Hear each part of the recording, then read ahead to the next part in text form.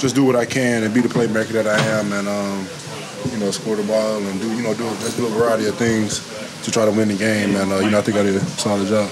Chauncey before the game talked about how you know in the NBA you can go from not playing a lot to all of a sudden you're starting against LeBron. Yeah. How do you think you, you held up in, in that matchup? I feel like I held myself pretty good. Uh, even though we were in zone a lot, I mean, just some of my reads and you know some some some some of my instincts on defense helped me out a lot against them. But um, yeah, that's just how it is. That's how the NBA is. Man. Can you learn a lot playing against a guy like that? Yeah, you know what I'm saying. You definitely learn a lot. I grew up Right. idolizing a little bit, right? Right, right, right.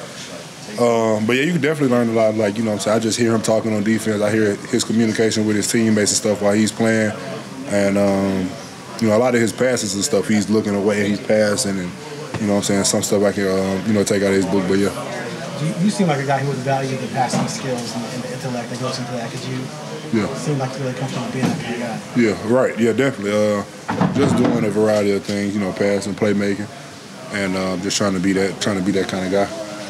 How is the team handling this, this stretch? It's been, it's been pretty rough. Obviously, there's been injuries. Yeah, you guys yeah. doing mentally?